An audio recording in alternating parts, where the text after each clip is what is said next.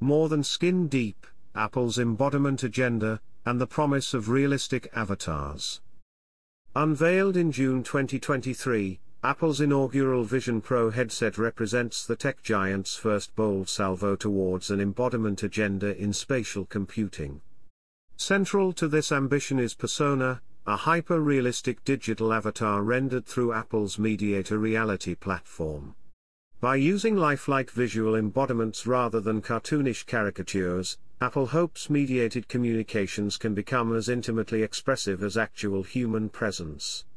Personas aim to infuse AI-driven virtual interactions with authentic emotional resonance by matching not just real-time movements, but the true depths of personal identity and expression.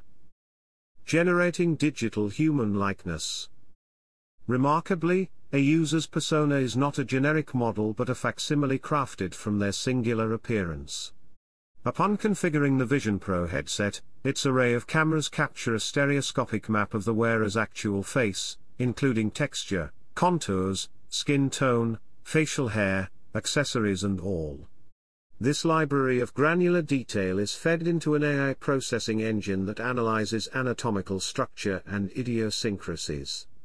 Leveraging bleeding-edge generative adversarial networks, it reconstructs an intricate 3D model strikingly close to reality. In action as digital proxy. Once created, this avatar serves as representation within 3D environments. Rather than showing the Vision Pro visor itself, the persona is rendered when video conferencing. Using real-time tracking of the user's head and expressions, it parrots movement and emotions to reflect reactions. The goal is for conversational partners to perceive personas as authentic proxies that remove the technology mediating back and forth engagement. Early partner support for Zoom, Microsoft Teams and Meta's Horizon Workrooms underscores Persona's integral role in intuitively infusing lifelikeness into virtual communications. Lingering questions around fidelity. For tech pundits who have tried early Persona demos, Apple largely delivers on this digitizing promise. But full fidelity remains handicapped by today's resolution and motion capturing limitations. Slight uncanny valley jitters endure. And replicating hands or full bodies rather than just heads remains daunting across spatial computing. Still, many experts effuse enthusiasm around Persona's lifelike advancements, even in its 1.0 version. The lightning pace of iterative improvements also suggests the gap to nearly indistinguishable replication could close quicker than expected. Broader impacts and ethical issues.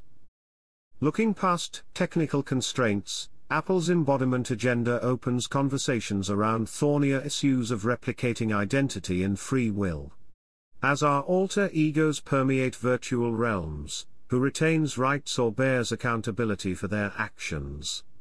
Can personas meaningfully consent, or be abused and exploited? Do they deserve privacy and agency protections?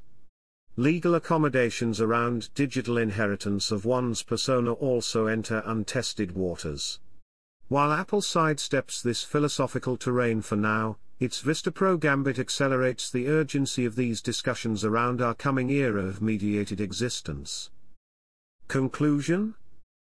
Although questions linger around the ultimate realism persona can or should attain, Apple's conviction that infusing personalization and humanity into artificial spaces can reshape technological experiences feels on target. Just as mice and touchscreens made computing more intuitive, mediating communications through lifelike avatars promises to tear down barriers between users and their devices. If this greater immersiveness also leads us to rethink social constructs, personal rights and legal conventions along the way, all the better to confront tough questions earlier rather than later. Because the R/VR future is closer than it appears thanks to Apple's daring Vision Pro showcase.